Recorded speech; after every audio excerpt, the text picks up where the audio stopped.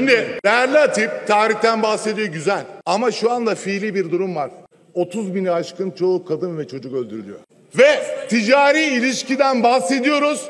Onun dışında her şeye cevap veriyorsun. Çetin Doğan'a kadar geliyorsun. Değerli milletvekili bakın. Size net bir soru soruyoruz. Bu kısmen yasaklanan ticari anlaşmalar, ürün neler nedir bunu araştıralım diyoruz. Bırak kısmen kablo, dikenli tel, yakıt vermeyi sen İsrail'e zıkkımın dibini bile ihraç edemezsin. Neyi konuşuyorsun sen? Gel bunun hesabını ver.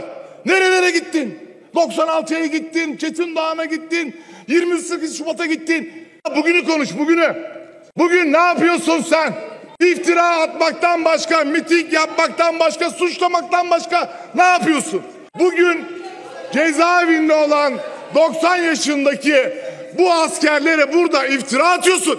Sen hasta ölümle yavuşan bu ülke için silah, silah tutmuş bir askere burada iftira atmaya utanmıyor musun? Evet Çetin Doğan cezaevinde olmamalı bunu ben söylüyorum. Hizbullah sanıklarına tahliye verecek Cumhurbaşkanı. Çetin Doğan'ı arkadaşlarını ölüme terk edecek öyle mi? Konu bu mu? Konu Konu İsrail'le olan kirli ilişkileriniz. Türkiye'nin her yerinde gittiğiniz yerde halk size bunu yüzünüzü vurdu. Siz Filistin konusunda samimi değilsiniz. Nerelere gidiyorsun? Çık burada açıkla. Çık açıkla. Çık sadece sana sorulan soruya cevap ver. Bırak. Hiç sağa sola sav savrulma. Sana sorulan gelen önerge net. Kısmi ticaret içerisinde neler var? Bugüne kadar ne verdin? Bugün neyi yasakladın? Çık bunu söyle kardeşim. Bu kadar net sorum sana.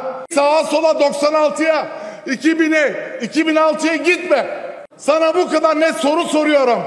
Sen 30 bin aşkın insan çocuk kadın öldürülürken kablo sattın mı? Sen akaryakıt, sen dikenli tel bir sürü bak bu sayfa kadar ürün sattın mı? Çık söyle. Satmadın da bakan niye yasakladı? Utanmıyor musun yalan söylemeye? Bakan yalan söylüyor ya da sen yalan söylüyorsun. Siz doğruları söyleyin. Gel maşallah güzel konuşuyorsun. Sana sorulan soruyu gel cevaplandır. Gel. Gel buraya. Gel. Gel gel.